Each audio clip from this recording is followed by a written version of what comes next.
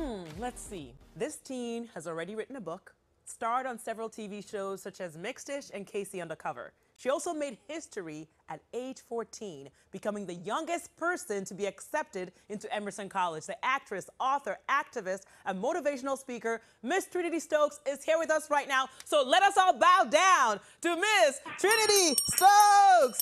We are not worthy. Are you kidding me, Trinitee? Are you? Is that what we do now? I don't know how to react to someone no, who made history. what we do now.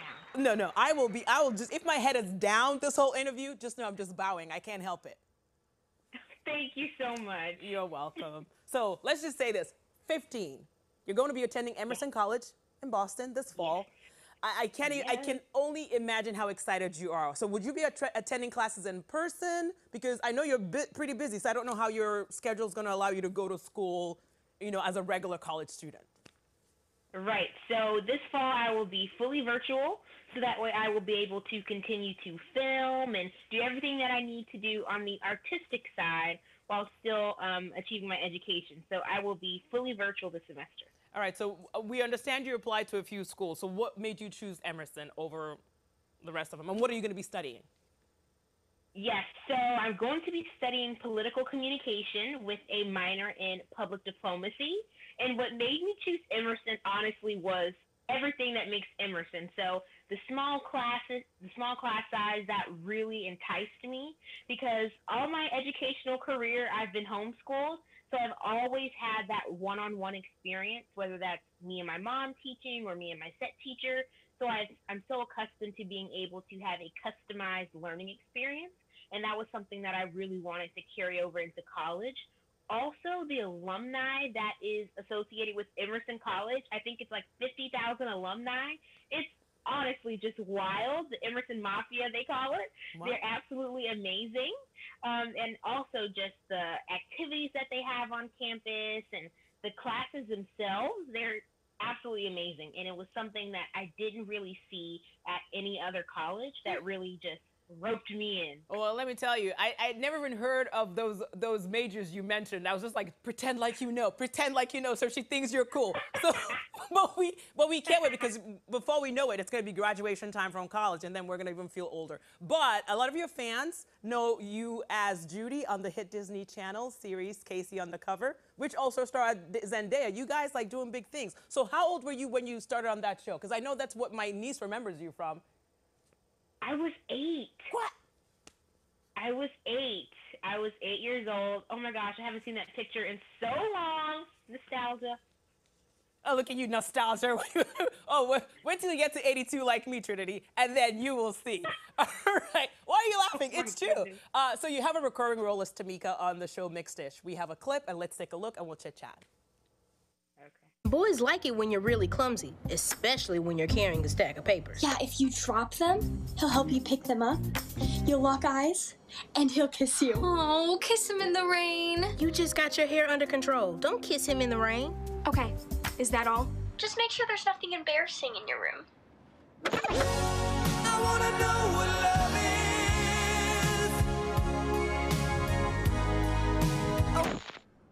is. Yeah, there isn't. Yeah, there isn't. We believe her, don't we?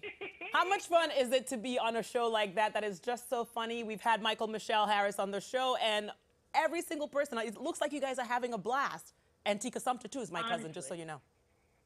Honestly, we are having so much fun. I'm I'm surprised that we get as much filming done as we do because we're really just having so much fun and everyone on the show, we just get along so well.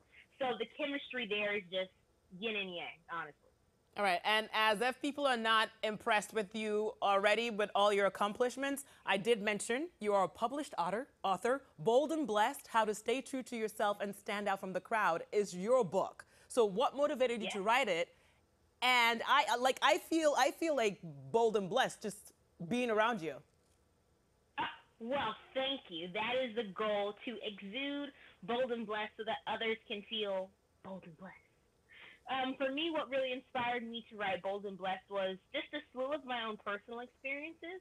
So for me, a couple years ago, I was sort of struggling with uh, having a positive body image and high self-esteem in certain areas, um, partially due to the impacts of social media and you know, modern beauty standards. And I was able to, of course, overcome that with the help of my parents and, and God and a lot of prayer. But that was something that you didn't really see anyone giving you steps to overcome. No one was saying, hey, mm-hmm. I used to have low self esteem and this is how you get out of it. And so when I was able to go through that experience and overcome it, I just felt like it was my duty to inform others Girl. this is how I did it.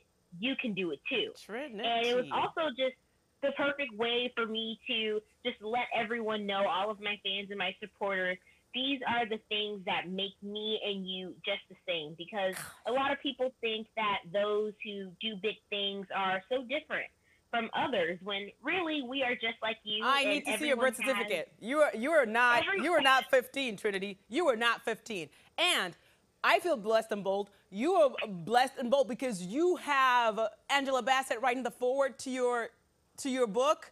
So let's just see this. Acting, check. College bound, check. Author, check. Motivational speaker, check. I was like, there's nothing else missing. Maybe have you even been a prom queen yet? All right. Oh my gosh, are you serious right now? I just won prom queen. Of last course I know you did, Trinitee. Of course you did. I was being sarcastic. There you go. Yeah. Listen, you Mm-mm. don't understand how pumped and how excited I was. Oh my goodness, I was through the roof. That's how I was when I heard you were coming on, Trinitee. And you have to come back and tell us all about college and your future plans because we know the fu- your future is even brighter than ever. I'm gonna go get like tons and tons of sunglasses because I'm gonna need it. We are so proud of you. Good luck with school, and we can't wait to see you soon. Tell your parents I said hi, okay? Yes, I will do. Thank you so much. Anytime, anytime. Bye. Have a good day.